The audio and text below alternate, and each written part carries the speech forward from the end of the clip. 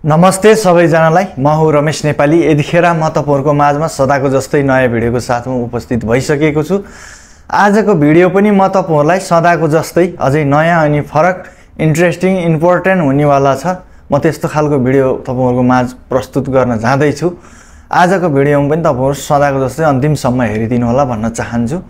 यतिखेर सामाजिक सञ्जालमा हाम्रो काठमाडौँमा विशेष गरी हाम्रा उपमहा नगर महानगरपालिकाका मेयर बालेन शाहज्यूले चाहिँ यतिखेर हाम्रो काठमाडौँमा बालेन सिटी बनाउनु भएको छ।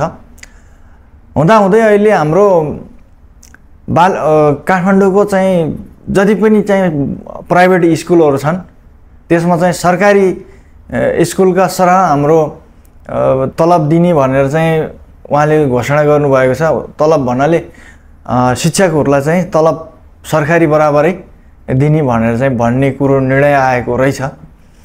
र प्राइभेट स्कुलमा विद्यार्थीसँग लिन पर्ने कर लिन पर्ने शुल्कहरू चाहिँ महँगो तर काम गर्ने उहाँ पढाउने टिचरहरूलाई चाहिँ सस्तो सस्तो चाहिँ पैसामा चाहिँ सस्तो लगानीमा चाहिँ महत्त्व गरेर कजाइरहेको होइन जस्तो कि हाम्रो चाहिँ अहिले निमेक भन्छ होइन नेपाली भाषामा खस ठेट भाषामा निमेक चाहिँ थोरै र लिन पर्ने चाहिँ उसले शुल्क चाहिँ महँगो लिइदिएको भएको हुनाले अहिले चाहिँ त्यस्ता स्कुलहरू चाहिँ बन्द गर्ने चाहिँ निर्णय भएको रहेछ।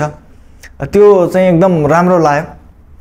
म जाँदा जाँदै मलाई के चाहिँ त्यसमा चाहिँ के एड गर्न मन लाग्यो भने के थप गर्न मन लाग्यो भने काठमाडौँको प्रत्येक मेन पावरहरूमा चाहिँ जति लगभग लगभग धेरै छन् मेन पावरहरू गन्ती अनगिन्ती छन् त्यसमध्येमा पनि सरकारी फ्री भिसा फ्री टिकट भनेर चाहिँ कति मेन पावरहरूले चाहिँ त्यो गलत प्रचार प्रसार गरेर मान्छेहरूलाई ल्याउँछन् पठाउँछन् विदेश र विदेश पठाइसकेपछि पठाउनलाई उनीहरूको अब होइन प्रक्रिया हुन्छ।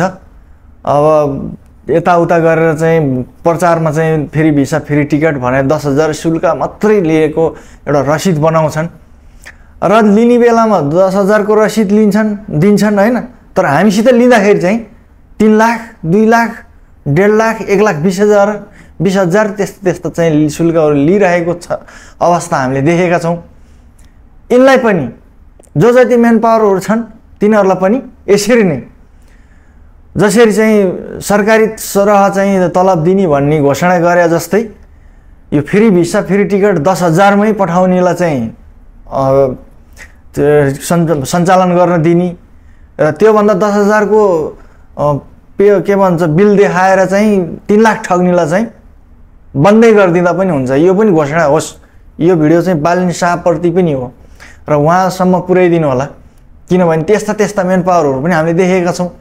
यस्ता मेन पावरहरूलाई त हामी छोड्न हुँदैन नि त।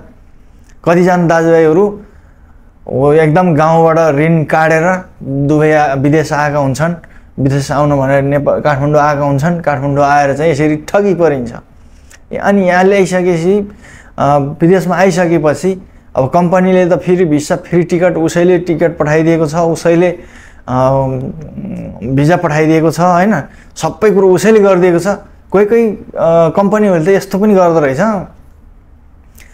घरमा गएर उहाँ पासपोर्ट बनाउने खर्च पनि यहीँबाट दिएको हुँदो रहेछ होइन? अनि त्यहाँ काठमाडौँ घरबाट काठमाडौँ आएको खर्च अनि आएर बसेको मेडिकल सबै खर्च कम्पनीले दिँदो रहेछ। उनीहरूले चाहिँ हामीसित चाहिँ टन्नै झोगिदिँदो रहेछ फेरि। यस्ता यस्ता मेन पावरहरू पनि काठमाडौँमा जति पनि छन् होइन त्यसका शाखाहरू प्रत्येक जिल्लामा छन्। ती सबै चाहिँ खारेज होस् जसले चाहिँ फ्री भिसा फ्री टिकट भनेर दस हजार रुपियाँको शुल्कको चाहिँ बिल बनाइदिएको हुन्छ। त्यही अनुसारले पठाउँछ भने त्यसलाई चाहिँ ओके गरिदिनुहोस् होइन? र जसले चाहिँ तिन लाख दस हजारको तिन लाख ठग्ने धन्दाहरू गरिरहेका छन् यिनीहरूलाई चाहिँ टट्टली रूपमा चाहिँ बन्द गरिदिँदा हुन्छ। यो चाहिँ मेरो तर्फबाट। साथीहरू आजको भिडियो कस्तो लाग्यो तपाईँहरूलाई? कमेन्ट गरिदिनु होला। यस्तो भिडियोहरू म तपाईँहरूको माझमा फेरि फेरि ल्याउने गर्छु। आजको लागि चाहिँ यो भिडियोबाट बिदा भएँ। हस्त नमस्ते जय नेपाल।